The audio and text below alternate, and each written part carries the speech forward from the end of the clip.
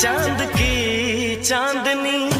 आसमां की परी शायरों के लिए तू है एक शायर